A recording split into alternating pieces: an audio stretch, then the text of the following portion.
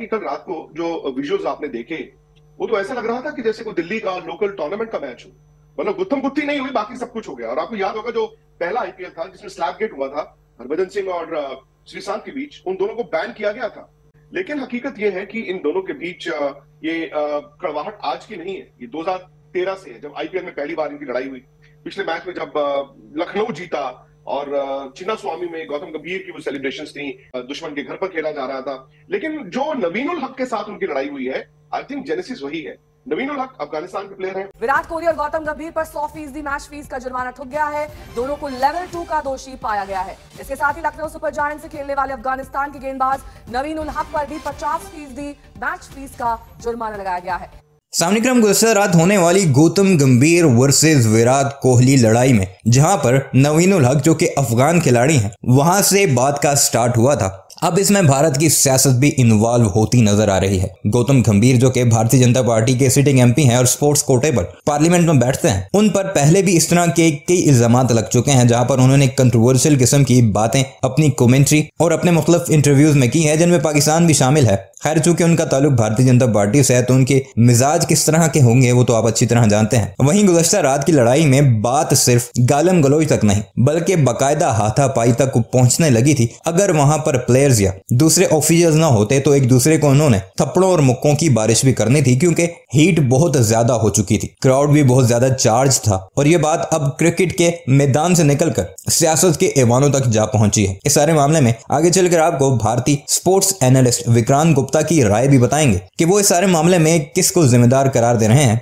वहीं अगर इन दोनों के पास्ट को देखा जाए, यानी गंभीर और कोहली के तो ये पहले भी ऐसी कई कंट्रोवर्सीज में घिर चुके हैं। नवीन हक का बयान भी सामने आ चुका है कि लड़ाई कहाँ से शुरू हुई, जो आगे चलकर आपको डिटेल में बताएँगे। इस सारे मामले में, भारत का मीडिया भी दो जुटों में बढ़ चुका है। आईपीएल के इस गंद का सामने आना, जहाँ कई पर्दे और कई राज हटाता नज़र आ रहा है, वहीं भारत के खिलाड़ियों के अंदर जो एक तनाव की कैफियत चल रही है, एक दूसरे की शक्लें देखना तक उन्हें पसंद नहीं, ये भी खुलकर सामने आ चुका है। भारत का मीडिया बेशक जितनी भी लेपापोती कर ले कि भारत के खिलाड़ी आपस में बड़े भाइयों की तरह रहते हैं। डगआउट में बिल्कुल शांत किस्म का माहौल है। लेकिन इस तरह के वाकयात जो कि गुजश्ता रात पेश आए और उससे पहले विराट कोहली और सबक बोर्ड के प्रेसिडेंट गंगोली के दरमियान हाथ तक ना मिलाना एक दूसरे को सोशल मीडिया पर अनफॉलो करना और ये सारी बातें ऐसी हैं जो बड़ी बातें सामने लेकर आ रहा है। उसके साथ साथ विराट कोहली का वो बिहेवियर जिसमें वो टेल एंडर्स के साथ बैशिंग करते नज़र आ रहे हैं एब्यूजिव बिहेवियर उनका सामने आ रहा है, जिनमें नवीन हक और अमित मिश्रा गुजशत रात के मैच में सामने आए और उसके अलावा भी ऐसे कई वाकयात इससे पहले भी रोनमा हो चुके हैं। खैर सारे मामले में क्या मुद्दा था, किसकी ज़्यादा गलती थी, वो सारी बातें आपको बताते हैं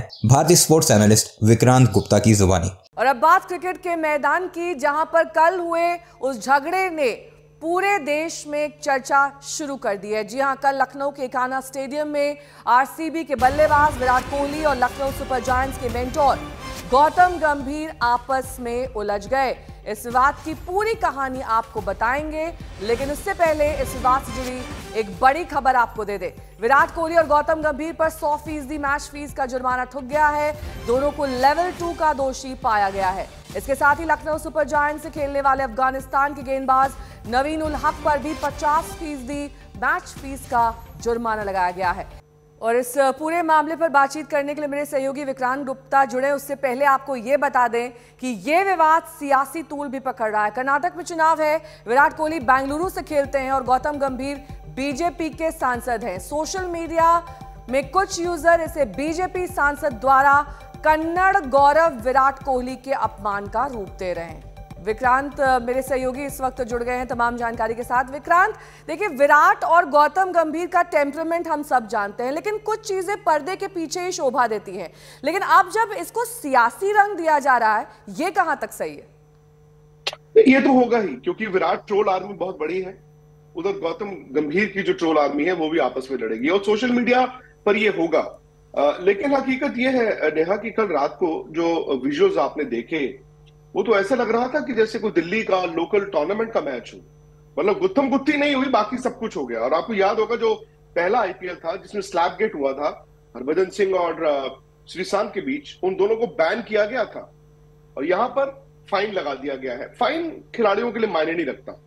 लेकिन हकीकत यह है कि इन दोनों के बीच ये कड़वाहट आज की नहीं है। ये 2013 से है, जब आईपीएल में पहली बार इनकी लड़ाई हुई। पिछले मैच में जब लखनऊ जीता और चिन्ना स्वामी में गौतम गंभीर की वो सेलिब्रेशन थी, बड़े अग्रेसिव थे, उन्होंने ऐसे पॉइंट आउट भी किया। Virat has paid back in fact कल विराट शुरू से बड़े चार्ज और बड़े अग्रेसिव थे कल, और क्योंकि ये मैच लखनऊ में खेला जा रहा था दुश्मन के घर पर खेला जा रहा था। लेकिन जो नवीनुल हक के साथ उनकी लड़ाई हुई है आई थिंक जेनेसिस वही है। नवीनुल हक अफ़गानिस्तान के प्लेयर हैं, उनके साथ जब उनकी लड़ाई हुई, अमित मिश्रा ने उनको मैदान में दो तीन बार समझाया भी। उसके बाद अब वो विजुअल पता नहीं क्या है, एक बार वो अपने जूते की तरफ़ इशारा करते हैं और फिर नवीनुल हक की तरफ़ इशारा करते हैं। आई थिंक वहाँ से थोड़ी सी बात बढ़ी। बढ़ते बढ़ते बढ़ते बढ़ते आपने देखा कि जब दोनों टीमें आमने सामने आई इनफैक्ट सबसे पहले विराट और गौतम ने ही हाथ भी मिलाया। तब तक भी कुछ नहीं हुआ था। जब वो आगे गए, नवीन हक के साथ उन्होंने विराट ने हाथ मिलाया तो वहाँ पर कुछ कहा नहीं हुई। फिर उसके बाद विराट निकले हैं। और जब विराट वहाँ से निकले, फिर मायर्स उनके पास आए। मेयर्स उनके पास जब गए तो उस पर गौतम गंभीर ने उनका हाथ खींचा। विराट ने पीछे मुड़कर कुछ बोला। गौतम गंभीर भी जा रहे थे उन्होंने भी पीछे मुड़कर देखा एंड देन इट हैपेंड जो मर्ज़ी कहिए आप, आप फ्री फॉर ऑल आपको अलाउड नहीं होता। भले वो विराट कोहली हो या गौतम गंभीर हो। मतलब आप ये नहीं कह सकते कि मेरा स्ट्रेचर ऐसा है। इनफैक्ट अगर आपका बड़ा स्ट्रेचर है और मैं दोनों को कहूँगा तो आप एक रोल मॉडल होने चाहिए। एक सिर्फ़ सुपरस्टार क्रिकेटर नहीं होने चाहिए आप रोल मॉडल भी होने चाहिए। इसके साथ ही विक्रांत, जिस तरह की तस्वीरें अब सामने आ रही हैं, उसमें लग रहा है कहीं ना कहीं जो पुराना वैमनस्य है, वो एक बार फिर से यहाँ पर बड़ा रूप ले रहा है। ये सिर्फ़ उस मैच तक सीमित नहीं था, ये पुरानी कई और बातें थी जो इसमें शामिल थी। नहीं, ये है, जैसे मैंने कहा, दोनों दिल्ली से है। इनफैक्ट देखिए मतलब विडंबना है कि 2009 में टुवर्ड्स एंड ऑफ़ 2009 शायद नवंबर या दिसंबर का महीना था जब श्रीलंका की टीम यहाँ पर आई थी। और गौतम गंभीर उस सीरीज़ में कप्तानी कर रहे थे, भारत की। विराट और उनकी पार्टनरशिप हुई ईडन गार्डन में। विराट ने भी सौ बनाए गौतम ने भी। और वो सबको याद होगा जब man of the match Gautam Gambhir को दिया गया। उन्होंने कहा नहीं मुझे नहीं इस यंगस्टर को दीजिए। तब तक लोगों को लगता था कि गौतम इनको मेंटोर करेंगे। लेकिन वही बात है ना कि उसके बाद सुपरस्टार एक तो था दूसरा भी बनता गया। और जो क्लैश इनका आईपीएल में हुआ तब से अब तक अगर आप देखें कि आ, मतलब समहाउ ये इन, इनका रिलेशनशिप में ना बड़ा विंडिक्टिवनेस दिखनी शुरू हो गई। सोशल जगहों पर या क्रिकेट के मैदान पर। इनफैक्ट जो विराट ट्रोल आर्मी है, वो तो गौतम गंभीर को जब गौतम ने अगर कोई भी बात बोली हो, कोई कमेंट दिया हो, वो कमेंट्री भी करते हैं।